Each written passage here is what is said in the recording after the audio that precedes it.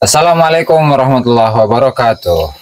Selamat malam para netizen, para sahabat sebangsa dan setanah air. Masih bersama dengan kami yang tidak terkenal dan tidak mau dikenal. Yeay. Yeay, itu mah kayak siapa gitu. Yeay. Bukan. Yeay. Oh. Enggak ya? Enggak. Eh. Eh, pada malam hari ini alhamdulillah kita eh, sedang apa nih? Diskusi Eh, ya, diskusi. ya, diskusi singkat Ngobrol santai, ngopi. Santai, ngopi. Dan di depan kita juga ada duren gitu ya. Barangkali ada yang minat silahkan ambil gitu. Lagi musim duren. Nah, cuman nggak jualan kita mah ya, nggak. Karena tinggal ambil Iya. gratis. Oke, di sini ada beberapa hal yang eh, kita diskusikan pada malam hari ini yaitu terkait tentang beberapa poin. Di mana yang pertama itu adalah mengenai ada sebuah kasus persekusi di Bogor. Sekali lagi ini persekusi ya Wow. yang dilakukan oleh oknum Habib. Diduga namanya itu atau persekusi itu dile- di- dilakukan oleh Habib Hasan Alwi Segaf ya. Dan persekusi itu dilakukan kepada salah satu ustadz yang namanya Ustadz Ridwan dari Bogor. Dan beliau itu adalah salah satu santri dari Ponpes Al-Iktisom. Di mana pengasuhnya itu merupakan eh, ketua merupakan ketua PCNU Kabupaten Cianjur, Jawa Barat. Ini ini berarti beliau adalah santri NU gitu ya Ustadz Ridwan ini. Tapi ini benar gitu ya ini ininya data-data apa? Bisa dipertanggungjawabkan, bisa Hmm. dipertanggungjawabkan. Lantaran eh, laporan dari Banser setempat Hmm. yang melapor kepada eh, Gusmar ya di melalui via telepon dan itu diunggah di akun beliau dan ini cuplikan dari eh, pernyataan sikap santri al iktisom santri dan eh, santri dan alumni ya. Hmm. Nah, nanti di. Kami segenap santri dan alumni Pondok Pesantren Al Isom mengecam keras atas tindakan pemukulan yang dilakukan oleh Habib Hasan bin Al Gasegab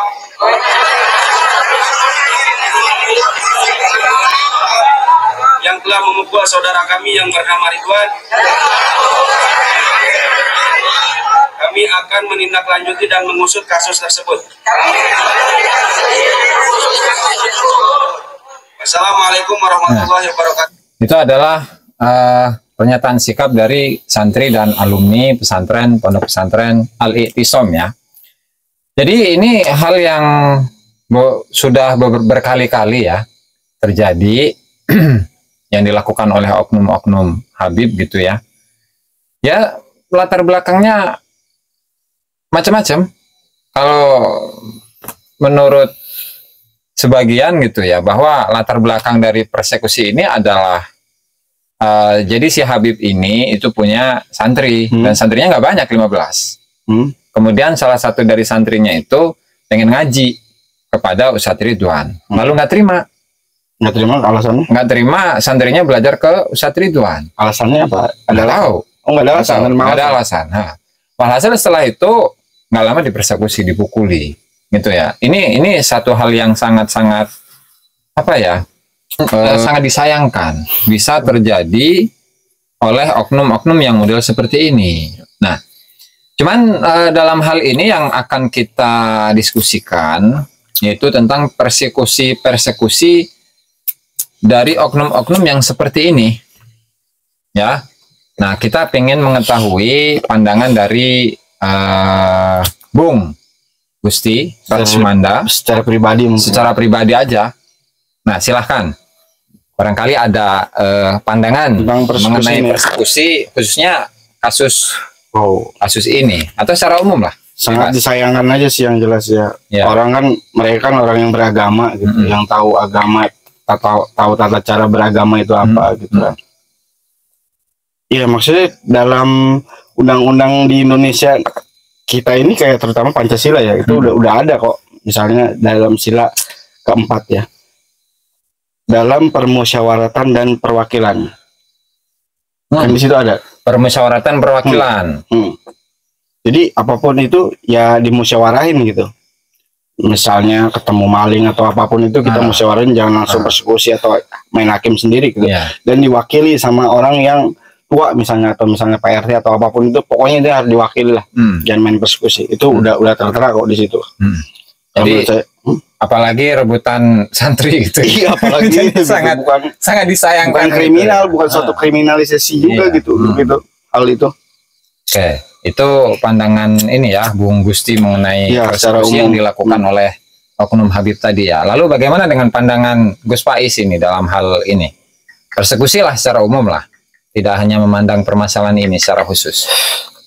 kalau persekusi itu berarti kan eh, jelas itu sudah melanggar hukum baik hukum negara ya hukum negara baik hukum syariat apalagi hukum hakikat ya sangat jauh gitu. Kalau melihat dari kejadian yang kita diskusikan sekarang itu yang kejadian di Cianjur itu ya Oh, oleh hak ok- oknum Habib itu ya Habib Hasan ya kalau nggak salah ya ya, Hasan Alwi Segaf, betul itu benar-benar suatu kemunduran kebobrokan ya Hmm, Hmm. mundur. moral barangkali. Betul. Itu rusak lah mentalnya kayaknya itu, orang seperti itu.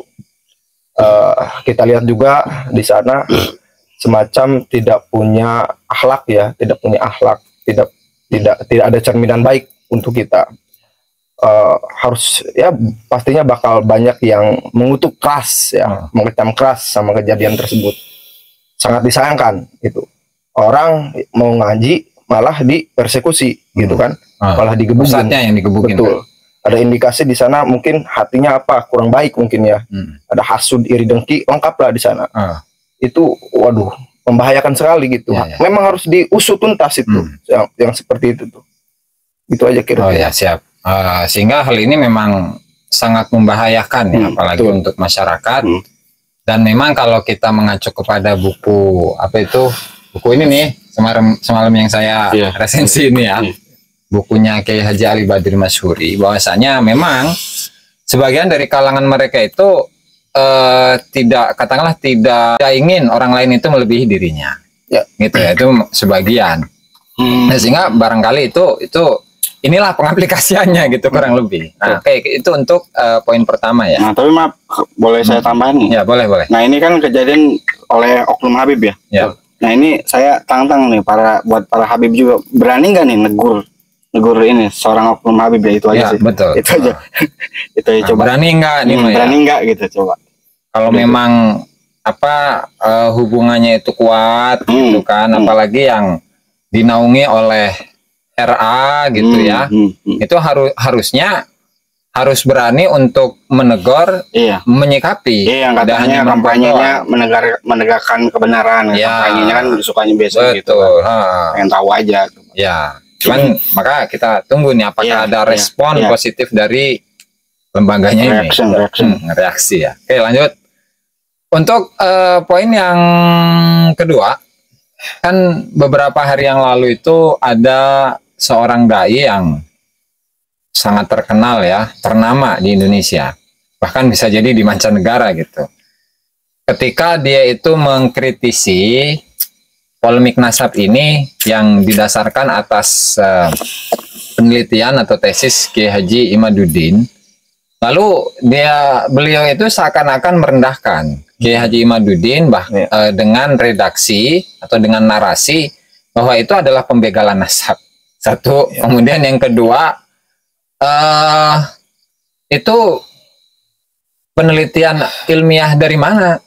Belajarnya bela- belajarnya di kandang kebo kali. Kan itu ada ada narasi yang seperti itu ya. Oh, Ah. Nah, tentu hal ini membuat eh, masyarakat di akar rumput ini ya pro kontra bingung nih. Katanya kan ulama, tapi narasinya seperti itu. Nah, kita pengen tahu HRS maksudnya. Ya, HRS. Nah, jadi saya masih menjaga sebenarnya. Apa-apa yang itu udah Oh, ya. Nah, Daryl, Iya, ya. Daryl. Oke, untuk pertama silahkan ke Gus Faiz untuk eh, apa menyampaikan statementnya dari statement Oknum Habib tadi yang mengatakan begal nasab dan kandang kebo. Hmm. Kalau menurut saya sih nggak aneh ya, Hmm. karena oknumnya itu lagi itu lagi. Hmm. yang disayangkan itu kenapa semakin ke sini malah semakin ke sana harusnya kan semakin ke sini itu semakin mulai dewasa Ya. karena kemarin dia juga sempat apa dijebloskan gitu ya. Heeh. sempat ada musibah lah gitu kan harusnya di sana mu- muhasabah diri kenapa ada kesalahan apa dalam dirinya gitu kan Ah. malah malah sekarang menjadi jadi gitu kan Hmm. narasinya yang tidak enak didengar gitu dan katakan kalau kalau menurut bangsa-bangsa ABG mah ilfil gitu ngedengerin ya. ilfil banget Hmm. dan menyakitkan Hmm. ini kan Kiai Imad disebut belajar di karena kebo Hmm. waduh karena ke, Kiai Imad itu kan berangkat dari pondok ke pondok Hmm. ya dari pondok pesantren mengaji ke mana-mana ke setiap abuya banyak lah biografi beliau ya Heeh. berarti itu semua disebut sebagai karena kebo oleh Hmm. oleh dia tuh ya itu kan sangat menyakitkan dan Hmm. tidak elok kita dengar Berarti penghinaan itu. ya? penghinaan itu. Dari mana kita dapat didikan di situ? Tidak ada sama sekali yang kita ambil gitu. Hmm. Itu ah tapi memang dari dulu seperti itu kelakuannya. Ah. Jadi 11 12 seperti yang kejadian di Cianjur itu. Heeh. Berarti kan? Heeh. Jadi sekali lagi mungkin belum makan duren. Ah, mungkin atau pengen dilempar duren. Oke, mungkin Yeay, gitu. Eh, eh, Yeay, gitu ya. Hmm. Oke, eh, untuk selanjutnya mungkin Bung Gusti ini Tentang apa? tentang masalah yang sama. Oh, untuk HR sih saya mau mau klarifikasi aja. Oh iya. Yang Oh, kemarin minta maaf. Hmm. Dia sempat bilang beliau itu ketua cocoknya jadi ketua geng motor, Hmm. ketua geng motor. Saya mohon maaf. Jadi cocoknya jadi ketua preman. Cocok sih. cocok sih, iya. Dasarnya apa itu? Ya itu tuh bukan seorang sosok ulama banget sih kalau menurut, menurut saya gitu ya. Karena Itu- kalau ulama mah Masih terjaga gitu, tertata dari intelektualnya, dari perdata, dari apa pun itu. dari sikapnya, Tetap dia dari sikap, gitu iya. Namanya preman kan free free man kan, preman itu free man, manusia Free bebas manusia gitu. bebas. Jadi ya bebas gitu. Brutal itu Iya, Ya, brutal. padahal, Ya, padahal itu kebebasan itu Hmm. pasti dengan aturan ya. Misalnya ketika berbicara di Amerika yang katanya negara bebas, tetap kan aturannya Iya, di situ aturannya. kan. Hmm. Harus ngikutin aturan. Ya, berarti itu adalah pandangan dari Bung Gusti Ya, secara pribadi. mengenai begal nasab dan kandang kebo ya. Heeh. Oh itu TIJ mah parah itu kalau ngebahas ini. Hmm. Oh, TJ. Oke selanjutnya eh, poin yang ketiga yaitu ini masih masih hangat ini bahkan masih panas. Itu tentang eh polemik nasab ya di mana RA atau yang membawahi Bani Alawi gitu ya. Hmm. Itu kan eh, nasab mereka di dipertanyakan lah Hmm. lantaran oleh Kiai Haji Imad itu dalam penelitiannya Haji Imad ingin eh, apa mengukur seberapa kesohihan riwayat nasab ini dari sisi sejarah, dari sisi nasab dan seterusnya. Sehingga hal ini eh, ada yang pro dengan tesisnya Kiai Haji Imad, ada yang kontra dengan tesisnya Kiai Haji Imad, bahkan muncullah tadi bahasa-bahasa begal nasab dan kandang kebo gitu kan. Nah, lalu kalau boleh saya bertanya, sebenarnya pengaruh positif atau negatif di kalangan ya untuk pribadi lah, baik eh, Gus Faiz atau Bung Gusti. Jawab. Ya, Gus Faiz dulu, silahkan. ya kalau kalau untuk eh, tanggapan ya anggapan masyarakat itu kan kembali lagi terhadap terhadap masyarakatnya itu sendiri terhadap asumsi eh, pandangan dari setiap masyarakat itu sendiri Hmm. tapi kalau dari saya sih eh, ada aja eh, apa namanya tesis dari kajian Kiai Imaduddin itu justru men, men- apa mendatangkan segi positif ya Ya, bagi positif. bagi bagi bagi eh, apa pemuda ya Hmm. gitu ya betul saya dengar dari orang tua ya, dari Habib tapi Habib yang sepuh gitu Hmm. beliau bilang adanya tesis itu justru mendorong kita eh, menarik terhadap tesis-tesis yang lain misalkan sodako itu mendatangkan rizki Ah. nah itu bisa ditesiskan gitu kan Hmm. apalah semuanya banyak ditesiskan kalau kita mau mencerna itu Hmm. artinya banyak hal yang sangat positif yang mesti kita ambil gitu Hmm. dari dari kejadian ini gitu kalau memang eh, merasa ini negatif ya mungkin itu dari oknum yang tidak terima saja mungkin Oh. barangkali seperti itu Hmm. Barangkali salah satu hal yang eh, positifnya gitu ya. Jadi yang awalnya kita itu acuh tak acuh mengenai Iya. kitab-kitab nasab gitu Iya. kan. Nah. Dengan munculnya tesis Ki Haji Imaduddin ini justru malah kita itu mencari-cari gitu Iya, ya. betul. Sehingga wawasan kita dalam ilmu nasab itu semakin bertambah. betul betul Barangkali gitu ya. Iya, betul. Eh, mungkin Bung Gusti Kalau menurut saya iya jelas sih kalau itu sih nam- nambah keilmuan ya, nambah Hmm. keilmuan. Terus semakin kita juga semakin kayak yang apa, kayak yang ragu nggak ragu gitu ya. Hmm. Ini, ini Habib asli atau enggak gitu. Karena ngeliat perilakunya kalau gitu ya. kalau Habibnya asli. Iya Habibnya asli Cuman- perilakunya gitu kan. Asal Kalau kalau Habibnya asli Hmm. gitu kan. Cuman Said dan Syarifnya itu yang banyak mempertanyakan ya, gitu. ya Hmm. mungkin itu ya. Ya salah satunya itu. Ya. Akhirnya kan kita bisa jaga diri gitu. Hmm. Terus ditambah lagi itu tuh satu ilmu baru gitu di pesantren ataupun di apa pelajaran-pelajaran formal juga gitu Hmm. kan tentang nasab gitu kan pelajaran nasab kan sebelumnya emang nggak ada juga kan ya Betul nggak ada Bang. mungkin tabu malah kan ya, Ah, ya. Benar. mungkin kalau saya sih itu sih kayaknya poinnya Ya, itu, itu, positifnya. positifnya. kalau negatifnya kalau menurut pandangan pribadi saya sih ada juga sih negatifnya Hmm. yaitu justru antara umat satu sama lain sih sebetulnya paling itu ya. Hmm. makanya di sini tuh yang harus diterapin apa apa sih ini harus harus diapain nih gitu Nah, kayaknya pemerintah juga harus turun juga sih Harus kayaknya gitu karena ini perkaranya emang lumayan wow gitu Ah. perkaranya mul- mulai wow gitu. Jadi ini eh, bisa jadi salah satu solusi dari Ya. eh, munculnya polemik nasab ini ya. Iya. Padahal itu bahan pertama pertanyaan selanjutnya, tapi udah terjawab ini oleh beliau. Waduh, waduh. Masa saya, saya nggak tahu lah serius. Makanya saya mah kadang suka pengen gencar si yang pertama yang bikin perkara itu, Ah. Yang blonde blonde itu sebetulnya Ah. itu tuh, Jangan- yang harus dicecar itu sebetulnya itu tuh. Ah. Itu aja, yuk terus Wah, terus. bahkan kasus penembakannya pun nggak muncul Iya. sampai sekarang kan. Iya. oh iya Nah, betul betul jadi- Iya. Kalau apa membicarakan tentang apa polemik nasab tadi itu ya. Itu sebenarnya kan yang melatar belakanginya ada banyak hal gitu yang melatar Hmm, belakangi eh, penyusunan tesis Ki Haji Madudin itu. Kan justru ini menambah wawasan mengenai sejarah, sejarah masa lalu baik di Banten ataupun yang lainnya. Sehingga yang lainnya itu melek. Lantaran banyak doktrinisasi yang dilakukan. Ketika doktrin itu dilawan nah maka muncul persekusi-persekusi itu. Nah oke kembali kepada tadi ya poin yang terakhir. Kan solusinya udah disampaikan oleh Bung eh, Gusti ya. Lalu Hmm. menurut Gus Faiz ini solusinya bagaimana ya? Untuk eh, menyudahi polemik nasab Pahlawi untuk menyudahi polemik nasabah alawi ya Eh, mungkin lambat laun juga insya Allah nanti juga mungkin bakal selesai dengan sendirinya ya. Cuman yang harus kita garis bawahi yaitu ya tetap kita mendesak terus. Terus terus. oknum Habib itu supaya cepat tes DNA gitu Hmm. buktikan saja Hmm. gitu jangan keluar-keluar di panggung gitu ya mau Hmm. bosan kita ngelihatnya gitu iya. bosan kita melihatnya keluar-keluar di panggung seperti preman ya menantang Kiai Imad Hmm. adu duel di dalam sarung dengan saya sampai mati ya itu bosan itu basi sebetulnya Nah. buktikan saya tes DNA gitu Hmm. udah kalau tidak bisa tes DNA tesisnya dilawan gitu Nah. jangan keluar-keluar supaya anak kecil gitu ya Hmm. gitu gitu aja ya udah eh, kalau solusinya menurut saya mah ya itu paling Iya iya benar. tes DNA buktikan jangan kayak anak-anak jangan kayak Hmm. kanak-kanakan gitu ya ini imam besar ngomongnya kayak gitu kayak kanak-kanakan ya Hmm.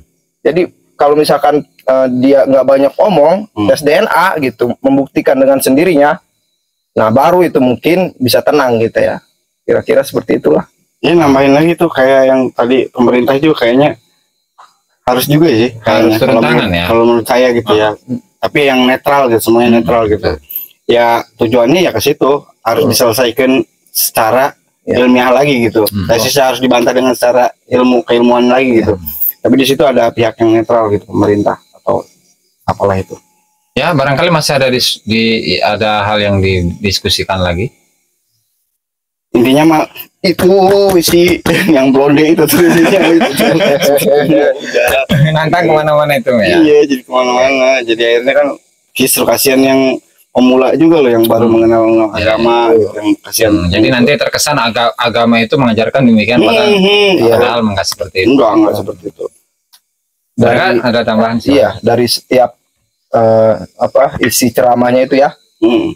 kita kita lihat, kita cek satu persatu ya dari oknum itu ya. Hmm. Eh, yaitu model yang rambutnya Blonde. blonde gitu kan, marah-marah, yang ngomong-ngomong eh, Anjing. ya itu ngomong anjing babi segala rupa gitu kan.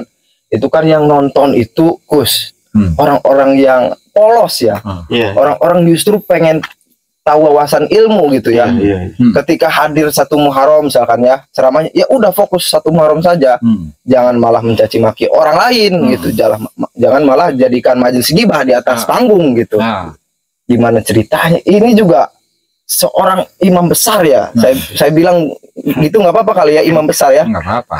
Kan Tapi- memang itu kan. Tapi kelakuannya sangat tidak mencerminkan orang yang besar gitu. Ya, seperti kekanak-kanakan. Imam besar mah ya harus punya pola pikir yang besar. Hmm. gitu.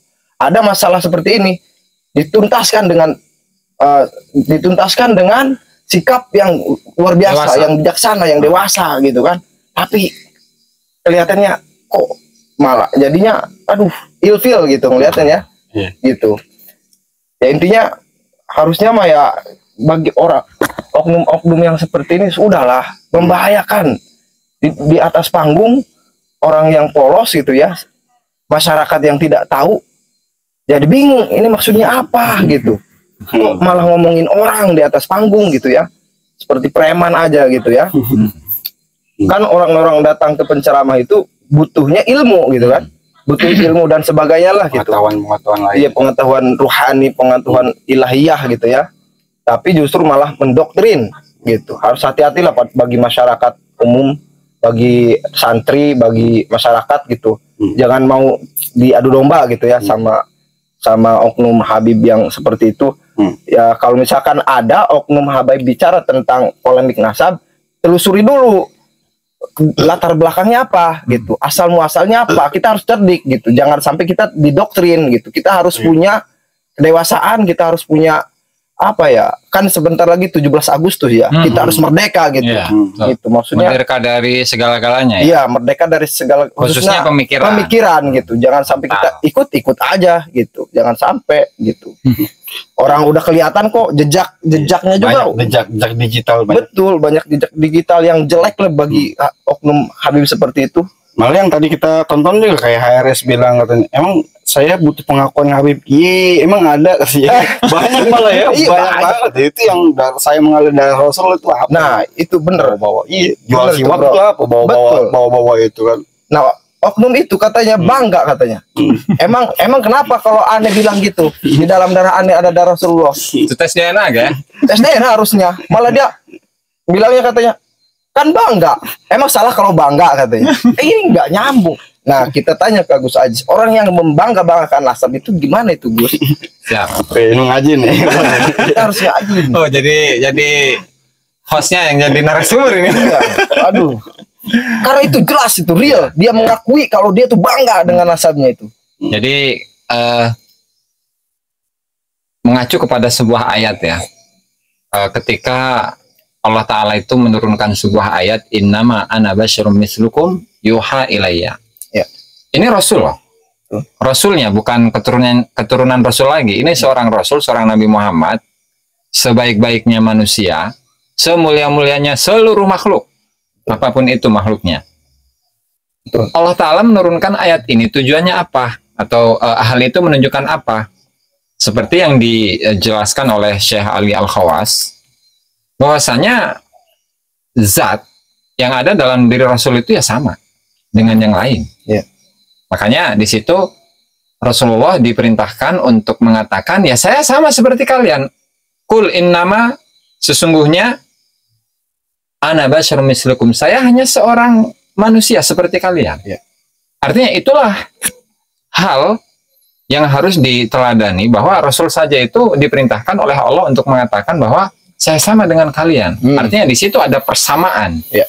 Persamaan eh, status, Ya. Ya kan persamaan eh, derajat, Hmm. nah dan seterusnya. Hanya saja bedanya, bedanya Rasul dengan yang lain itu Allah Taala menurunkan wahyu kepada beliau. Nah, sehingga ketika diklaim bahwasanya orang-orang yang mengaku sebagai turunan Rasulullah Shallallahu Alaihi Wasallam, Hmm. apakah sudah bercermin kepada ayat ini? Itu. Ya. Jangan berlebih-lebihan. Hmm. Siti Fatimah saja, putri dari Rasulullah Shallallahu Alaihi Wasallam, Rasul mengatakan kepada beliau, ya Fatimah, ketika engkau itu mencuri, sungguh akulah yang akan memotong tanganmu sendiri. Ya. Ya artinya di situ berlaku hukum ya, hukum itu berlaku. Ya. Sehingga nggak perlulah membangga-banggakan nasab kemudian pengen dipanggil Duriah Rasul atau eh, sebagian oknum lagi mengatakan dalam diri saya. Waduh. Waduh. Ada darah Rasul, ada darah mulia dan Disuruh seterusnya. tes DNA nggak mau. Suruh tes DNA nggak mau untuk membuktikannya. Iya. Itu kan ini apa-apaan gitu. Toh masyarakat sudah pintar untuk menilainya Ya. gitu kan. Yaitu saya rasa cukup dari saya. Hmm. Oke, ada hal yang ditambahkan barangkali? ya kadang dikasih hadis dalil gitu percuma sih yang orang udah Hmm. udah fanatik membabi Ah, buta gitu kan percuma kadang gitu Hmm. nggak nggak ngaruh kadang betul cuma tetap ya kita mah ya harus di Ya biasa aja lah. ada share-sharenya ya Ah, ilmuwan ada ya harus Nah, ya jadi eh, berbeda kepala pasti berbeda isi. Betul. Ketika kita memiliki satu pandangan, pasti ada yang tidak setuju dengan pandangan tersebut. Iya. Cuman yang dibutuhkan adalah kebijaksanaan dalam menyikapi Hmm. perbedaan pendapat tersebut. Gitu. kayak kita bertiga ini beda banget ya beda tuh Beda Ini kan anak jalanan ya. iya yang kemarin yang disebut orang gila itu. Ucul banget Ya mungkin ada lagi nih Gus. Ah. Eh, eh, kita tambah satu lagi lah Ya. biar lebih lengkap gitu ya. Mm-mm. Sama masih dalam dari dari kalangan dari Itu- itu dari juga, kalangan itu- itu, itu juga gitu sama. Eh, justru itu juga dari dari asalnya dari Banten itu. Mm-mm. Banten pojok lah gitu ya. Mm-mm. Beliau mengaku-ngaku sebagai turunan Wali Songo Mm. ya, mengaku-ngaku sebagai turunan Wali Songo. Ada tesis kajian ilmiah dari Kiai Imad tidak terima Uh-uh. karena eh, terahnya dibelokkan katanya. Uh, membelokkan Mem- nasab. membelokkan nasab gitu. Marah-marah gitu kan, marah-marah. Terima. Kita harus bersatu, umat harus bersatu katanya kan. Jangan sampai dipecah belah gitu. Mm. Nah, kenapa harus marah sama Kiai Imad gitu Hmm. kan? Harusnya marahnya sama yang menafikan nasabnya gitu. Iya. Kan ada dari kalangan dia yang menafikan nasab gitu Hmm. kan. Mm. Yang si Blonde itu katanya Duriah Wali Songo ke bawahnya tidak ada, terputus katanya. Mm. Kenapa itu tidak diserang gitu? Mm. Ini kelicikan banget gitu. Nah, Licik sangat. Tapi itu eh, katanya terkenalnya seorang tokoh besar gitu. wow, imam kali. ya? Imam mungkin. Abu Ya'la gitu. Hmm. Nah itu kelakuannya sama-sama aja seperti itu. Sama-sama aja 11, 12, 13 gitu. soalnya ini gue mau nggak tahu loh saya Ada. Di Ada, daerah ada Banten. sama. Di ujung, di ujung. Di ujung, iya. Banten Ah, Ngeri itu. Banten. cuma yang yang gue tahu mah Abu Yamur tadi doang udah Oh gitu, Abu Yam ya. Iya, Abu Yam, kalau- gua kalau gua Nah. pribadi gitu. Kalau yang lain mah enggak mau udah. Ya beliau memang sih kalau bicara Abu Ya ya di Banten tuh yang lu- luar biasa itu ya memang dari Cidahula gitu ya. Ah, Abu Iya, Ya tadi lah gitu. Tadi, luar iya. biasa gitu. Ya walaupun memang beliau sebagai Abu Ya juga nggak masalah gitu bro. Nah, tapi emang ada gua bener baru Asli ada. ada. Iya ada. Oh. Beliau Abu Ya lah disebutnya. Ya nggak masalah kalau Abu Ya silakan saja kita hormati. Dari Hmm. dulu juga kita nggak nyenggol-nyenggol gitu ya. Cuman ternyata sekarang kejadiannya seperti itu, ya penilaiannya kita ya seperti itu juga, Ah. gitu kan? Nggak apa salahnya kita menilai seseorang gitu kan? Punya pandangan lah gitu sama orang yang seperti itu. Beliau, saya nggak habis pikir Gus, itu gimana ceritanya itu? Dia itu pu- punya mengaku-ngaku sebagai turunan Wali Songo, tapi marah nasabnya dibelokkan. Dibelokkan berarti kan tidak Hmm. tidak menafikan, Iya. gitu kan? Walaupun memang dibelokkan gitu, Ah. tapi tidak menafikan. Justru ada yang menafikan, tidak disalahkan. Ma- Kenapa Hmm. tidak melihat ke yang dekatnya gitu? Iya. Apa itu? Logi- Logikanya gitu ya. Iya. Iya, nggak baru ngerti baru ngerti.